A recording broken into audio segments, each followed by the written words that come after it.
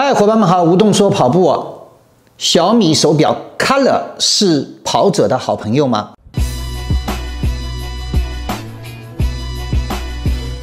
我们先来讲结论：追求性价比的跑步时不用带手机的小米手机伙伴，可能是最适合这台。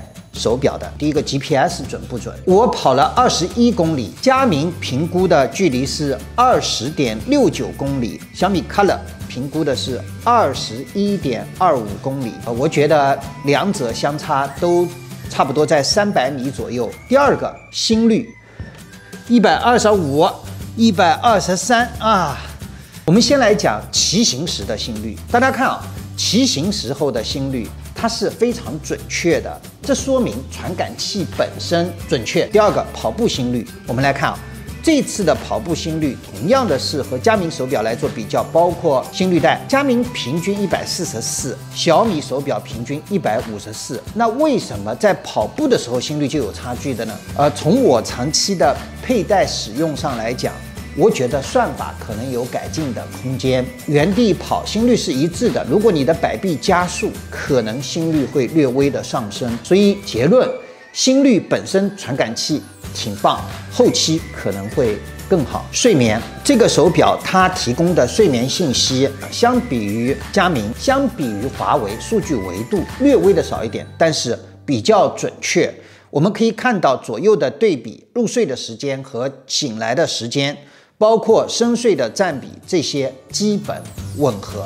所以运动人群最关注的第一个 GPS 准不准？准。心率准不准？还行。睡眠睡得好才能跑得好，这三个大样，我觉得是最棒的。那我们来讲一讲，作为这个手表。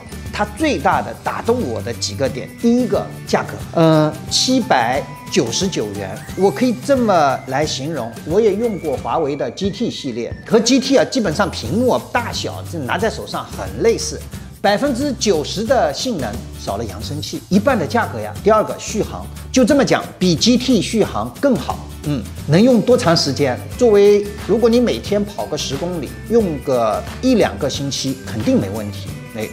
如果你啊，哎，只是平时带着手表使用，那这个使用的时间就更长了。接下来是屏幕，我们来看一看啊，对于这个手表的屏幕对比，它的整个一个明亮度，我觉得屏幕是我最满意的一个地方。